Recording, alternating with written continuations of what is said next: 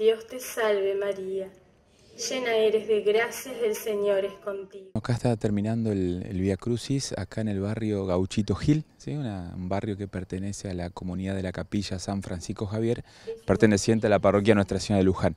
Y bueno, estamos, están escuchando seguro, están terminando el, el Via Crucis viviente, que empezó en la capilla y está terminando acá en el barrio. ¿Quiénes han participado de este Via Crucis? Y la mayor parte de los actores son gente del barrio, ¿sí? del barrio Gauchito Gil, ¿sí? Los organizadoras, las organizadoras son gente de la capilla que trabaja mucho acá en el barrio y que han invitado a la mayor parte de los actores acá del barrio. ¿sí? Imágenes más que sensibles y han logrado el objetivo de, bueno, de encontrarse con Jesús a través de esta representación y en oración. Exactamente, sí, toda representación nos tiene que llevar al amor de Jesús por cada uno de nosotros. Entonces uno quiere representar esto porque quiere que, que las que todos volvamos a Dios. Sí, Dios es bueno, es Padre y quiere que todos sus hijos vuelvan.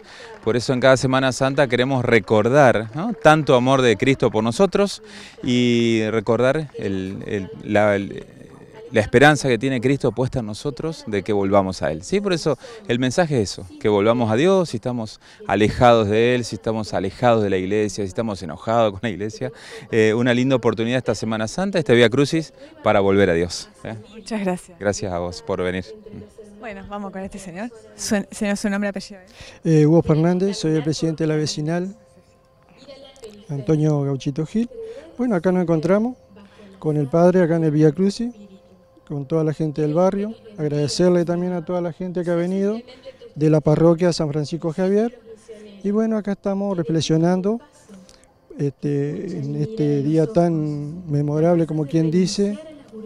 Eh, y bueno, seguiremos siendo buenos cristianos este, y que todo en nuestra vida cambie para todo y reflexionemos, mucha reflexión para todo.